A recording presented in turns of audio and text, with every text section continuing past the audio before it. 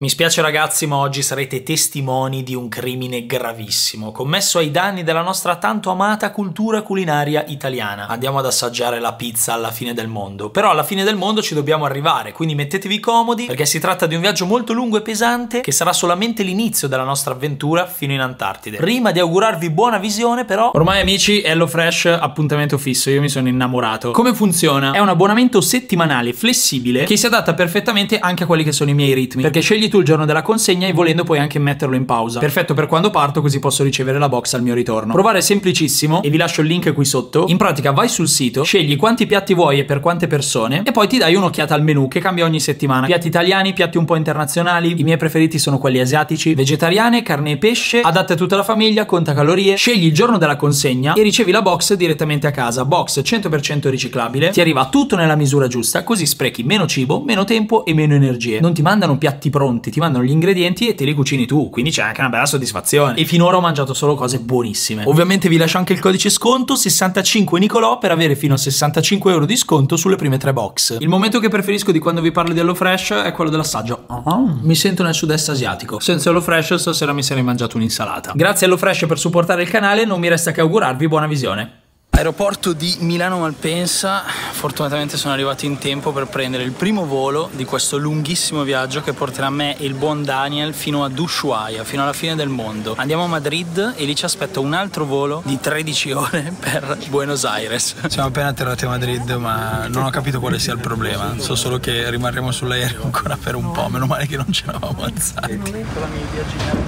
Se camminiamo ancora un po' a Ushuaia ci arriviamo a piedi. Io penso che non potevo prendere hamburger più triste di questo. Mm. È un po' triste. Wagyu burger, soli 28 euro. Meno male che mi sono fatto dare anche l'insalata. Cena abbastanza terribile. Comunque vorrei ringraziare quella ragazza che mi ha riconosciuto sull'altro volo e mi ha regalato i coupon del wifi eh, per il prossimo volo. La fila per il nostro volo finisce in Portogallo. C'ho sonno. Riposati come solo chi ha dormito in aereo può essere riposato, siamo all'aeroporto di Buenos Aires e stiamo aspettando un taxi che ci porti all'altro aeroporto di Buenos Aires dove ci aspetta il prossimo volo per Ushuaia. Giusto il tempo di mangiarsi un bel banana bread. Pare che ci sia un incidente grosso e quindi i taxi sono tutti in ritardo. Un perro! Seguiamo il nostro uomo. Quanto si sta bene a Buenos Aires? Quanti? 24 gradi? Sì, ora sì.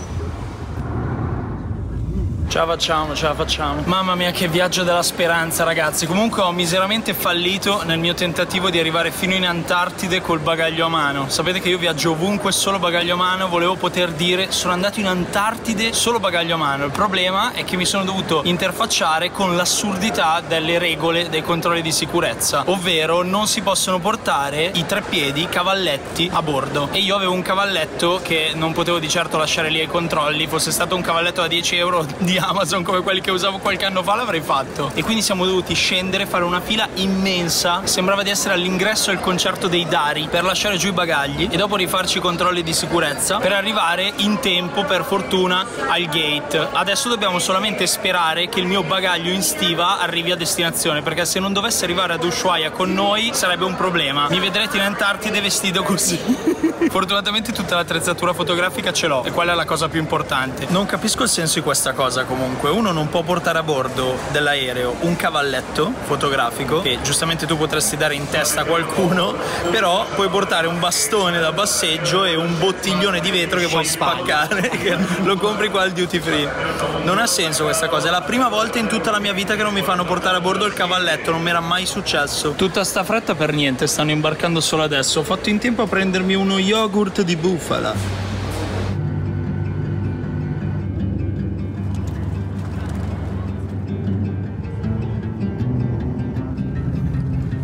Voglio prendere aerei per un bel po'. Mi hanno perso talmente tante volte il bagaglio, anche sui voli diretti, da avere tutte le ragioni per temere che anche questa volta non arrivi. È per quello che non lo imbarco mai, però incrociamo le dita. Eccolo, eccolo. Bienvenido a Ushuaia. Metto piede per la prima volta in Patagonia. Raga, ma è bellissimo. Raga, ma le vedete queste montagne? Ma quanto sono... Ecco, giustamente arriva il bus. Quanto sono belle queste montagne. A parte che mi sembra di essere in Norvegia, alle isole Svalbard. Sono pazzesche. Ma poi con questa nebbiolina, questo tempaccio. Che spettacolo. Che meraviglia. Ci credo che sembra la Norvegia. Siamo praticamente dentro un fiordo. Partirei subito adesso per fare un trekking senza neanche mettere giù i bagagli. Probabilmente resisterei 6 minuti perché pesano tantissimo. Però ce l'abbiamo fatta, raga. Siamo arrivati in Patagonia. Sono veramente emozionato.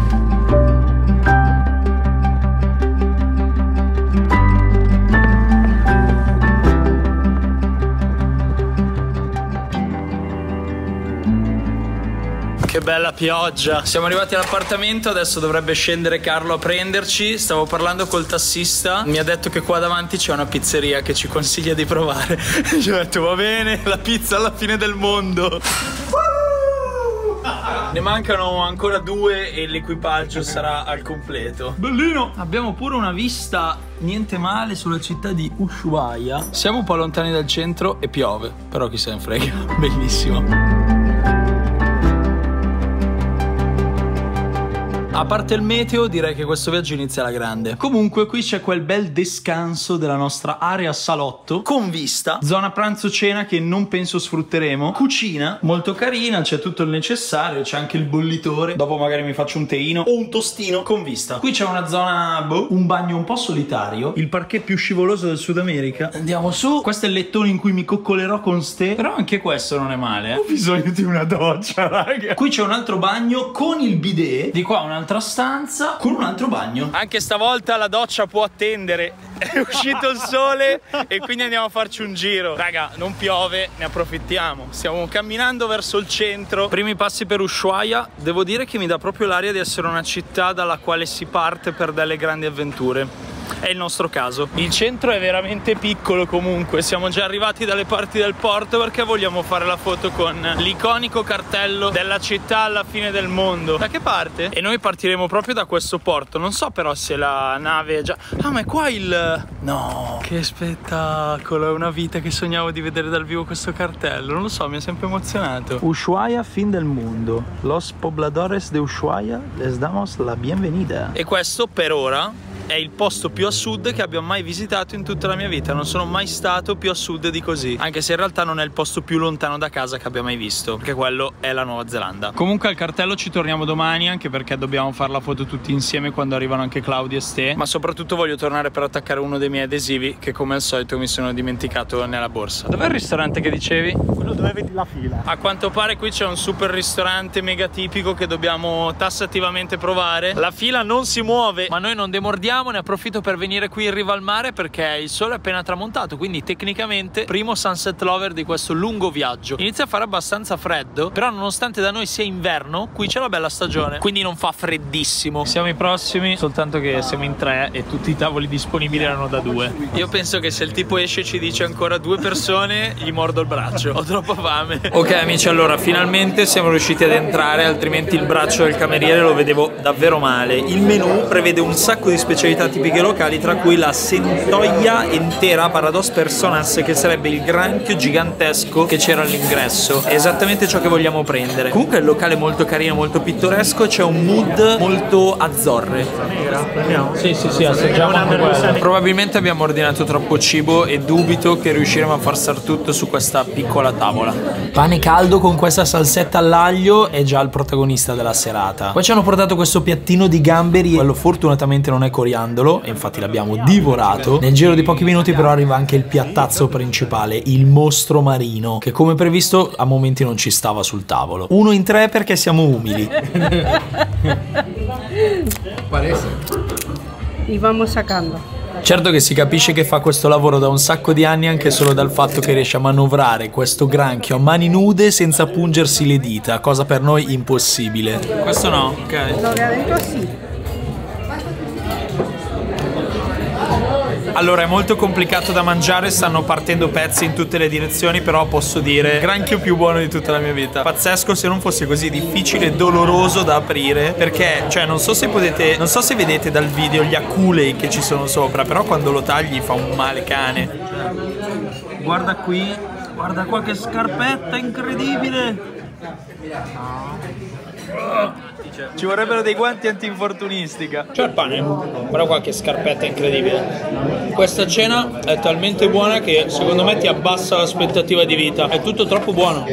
Carlo, devo dire che hai scelto proprio bene. Amici, nel frattempo è arrivato anche il conto, sono 31.410 dollari argentini, all'incirca 185 euro in tre per tutto questo cibo che avete visto, più due bottiglie di vino, due dolci. Ah, che bella cena. Io sbocco troppo. Guarda che è arrivato, guarda che è arrivato il taxi.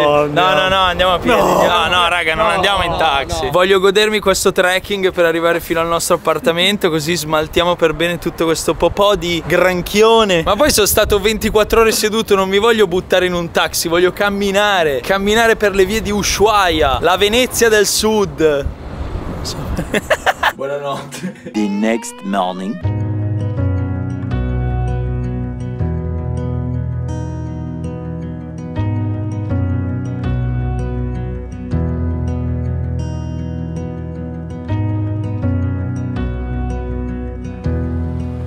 C'è un gigantesco perro. Parla l'italiano? Non ho capito, siamo in quel bar che fa i croissant giganti. Eh, va bene, io mi sono preso quello che probabilmente è il matcha latte più a sud del mondo. Vuoi una zolletta di zucchero? Colazione ipercalorica totalmente non necessaria a parte, guardate cosa si trova per le strade di Ushuaia. Sul marciapiede legati ad un palo questi due tubi, uno con i croccantini e uno con l'acqua. Per i nostri amici perri. Amici, siamo tornati al porto perché come molti di voi mi hanno consigliato, ovviamente non potevamo non passare dall'ufficio del turismo dove rilasciano il timbro di Ushuaia. Quando siamo arrivati in Argentina non ci hanno messo il timbro sul passaporto, gran peccato perché sapete che mi piace collezionare timbri, sono ricordi di tutti i miei viaggi che tengo gelosamente custoditi sul mio eh, passaporto che ormai è quasi pieno. Però in Argentina non ce l'hanno messo ma per fortuna si poteva fare qui. Avevo letto anche commenti che mi dicevate tipo che costava 3 dollari, in realtà non soltanto è gratis ma ci sono addirittura tre timbri diversi tra i quali scegliere e io ho scelto di farli ovviamente tutti e tre che sono uno più bello dell'altro. Il mio preferito è quello dei pinguini, ma soprattutto al porto è arrivata la nostra nave, quella sulla quale ci imbarcheremo domani. Quindi adesso andiamo a vederla. Beh, molto bella, devo dire, e molto più piccola rispetto alle altre. Dopo aver contemplato la bellezza della nave con la quale solcheremo i mari più agitati del mondo e dopo aver messo i timbri sul passaporto all'ufficio del turismo, ad Ushuaia non ci rimane molto altro da fare, anche perché se parti per una spedizione fino in Antartide, tutte le escursioni che il porto ti offre non hanno più molto senso. Sarebbe un po' come rovinarsi l'appetito prima di un ristorante stellato.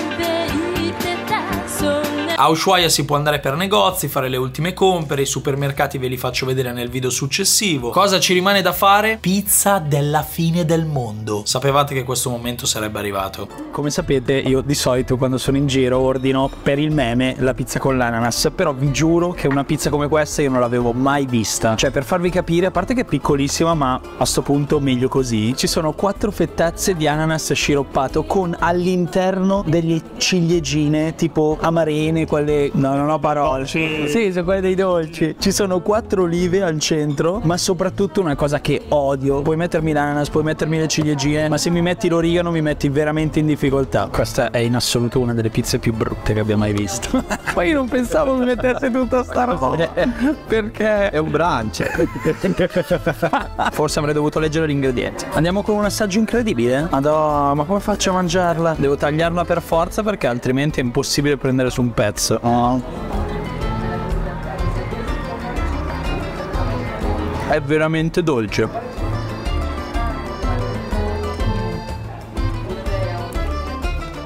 Ti giuro che non so come sentirmi al riguardo. Il fatto è che è vero, l'impasto è buono, ma anche il prosciutto non è male. Però questo ananas direttamente dalla scatoletta è difficile. Posso dirvi già con assoluta certezza che questa è una delle tre pizze peggiori che abbia mai mangiato. Questa sta sul podio assieme alla pizza irachena e alla pizza indiana mangiata a Cape Town in Sudafrica. Una delle cose peggiori, che peggiora proprio l'esperienza della pizza in sé, è che il tagliere in realtà non è di legno, è di plastica e ogni volta che tagli si formano delle microplastiche che vai ad ingerire assieme al formaggio che incolla su tutto e quindi ti mangi la fetta di pizza. Di pizza veramente poco, raga. Sapete che io sono uno molto aperto che tende a mangiare le pizze più assurde, ma questa, questa sto facendo davvero tanto fatica a finirla. Gli amareni, cioè sembra di, di avere un ghiacciolo di quelli rossi poggiato sopra, però caldo. Uh, cioè, io sono Sono senza parole. È stata una delle peggiori esperienze culinarie di tutta la mia vita. E io sono un estimatore della pizza con l'ananas. Però l'ananas che metti sulla pizza deve essere fresco, tagliato in pezzi molto piccoli. Non, non puoi mettere la fetta intera. Estremamente dolce, come colpo di grazia. Le amarene. No, era una roba vomitevole, immangiabile. Ho fatto davvero fatica a combattere con il mio istinto di non avanzare il cibo. Mi sento così in colpa. Chiedo scusa pubblicamente a tutti i miei connazionali. Ormai però il danno è stato fatto e stando a queste carte, a partire dal 31 di gennaio 2023 dovevo scontare un esilio. Vabbè, prossimamente cosa vendono nei supermercati sull'isola di Tristan da Cugna? Con questa pizza ho un po' esagerato. A mia difesa non mi aspettavo facesse così schifo. Mi merito tutti gli insulti che vorrete lasciarmi qua sotto tra i commenti, tranne la cosa che mi scrivono sempre, se vuoi mangiare la pizza buona te la mangi in Italia, ma se mi mangio la pizza solamente in Italia dove sta la gag? Questa era veramente oscena. Comunque sono arrivati anche Claudio e Ste, quindi la squadra è ufficialmente al completo. Nel prossimo capitolo vi faccio vedere i nostri ultimi momenti sulla terraferma prima di imbarcarci alla volta del canale di Beagle. Quindi vi ringrazio per aver visto il video di oggi fino alla fine. In descrizione come sempre trovate il link a Todo Cambia. Tutto il ricavato va in beneficenza d'emergenza sorrisi. Trovate anche il link al super evento si vola di quest'anno. Ora come ora è l'unico viaggio si vola in cui ci sono anch'io. Ci siamo proprio tutti e sarò presente anche la sera dell'evento. Comunque questo puntino rosso mi dà fastidio. Ad ogni modo, se ve lo siete perso, trovate su questo secondo canale il video di 30 minuti dedicato al Marocco, come messo lunedì scorso, mentre sul primo canale ho pubblicato il video dei gorilla. Se non l'avete visto andatelo a recuperare, intanto che state guardando questo video io sarò già partito per il Giappone, quindi torno a montare tutti i video di gennaio, perché noi ci vediamo come sempre lunedì alle 19 con una nuova avventura. Ciao ciao! Ah, ehm, comunque si dice Ushuaia, non Ushuaia, come dico io.